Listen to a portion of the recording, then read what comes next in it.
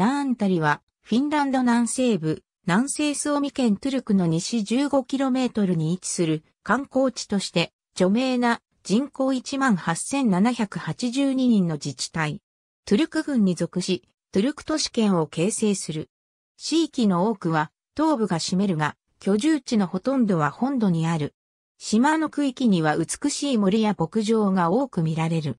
ナーンタリはフィンランドでも歴史の古い町で1443年にスウェーデンをクリストファ3世によって検証に署名された。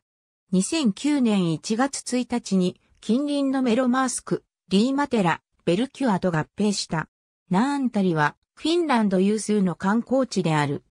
市街地の北西に浮かぶカイロ島にはムーミンワールドがあり、また、町内にはスカンジナビア最大級のナーンタリスパホテル、中世に建てられた石造りのナーンタリ教会、フィンランド大統領の公式別荘であるクルランタ、などがある。また、クラシックな蒸気船による近海のクルージング、フィンランドフェスティバルズの一つ、ナーンタリ音楽祭も有名である。フィンランズアリエルコモアンビス1.1 2011統計表ナンバー529アーカイブド2012年7月9日アットウェブサイトありがとうございます。